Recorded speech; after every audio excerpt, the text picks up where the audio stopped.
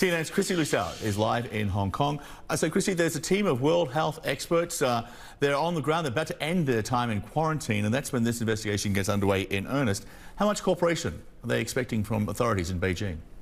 And that's the big question, especially as Xi Jinping touts that China will cooperate with the world in terms of finding an answer in terms of managing the pandemic. Now, we know what's happening today is a group of 13 experts, scientists from the World Health Organization are emerging from their two-week quarantine in China, some today, some tomorrow, and very soon they're going to go in the field in Wuhan to investigate the origins of the coronavirus pandemic more than a year after the virus first emerged. A detailed itinerary has yet to be released.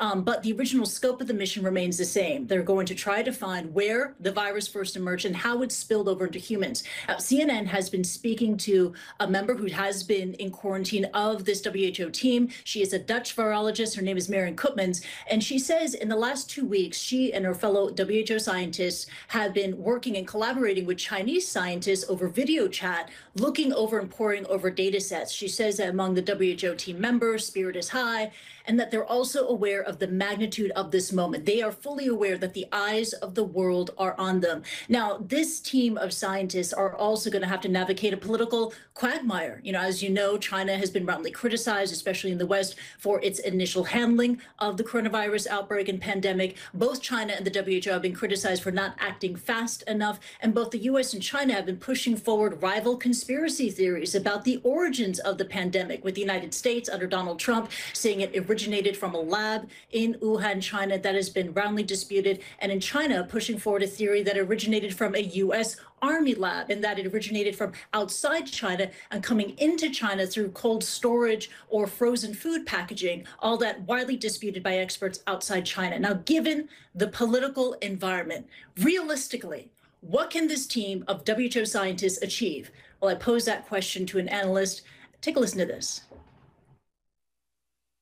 Well, I think if you look at the itinerary of the um, investigation team, uh, they've been um, about to emerge from that two-week quarantine. They have another two week to do the site visits.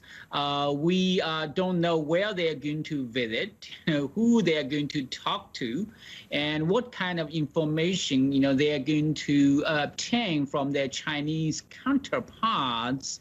So this is still pretty much all right uh, unknowns to us. Now, according to the team of WHO scientists in China, um, their objective is to follow the science, to follow the data, but they are also urging patience. They know that the entire world is waiting for answers to figure out what caused this pandemic to take the lives of over 2 million people around the world. As that Dutch scientist who is part of the team and emerging from quarantine today, Marion Koopmans told CNN, she said, quote, previous origin investigations have taken years to complete. It's going to take a while. John.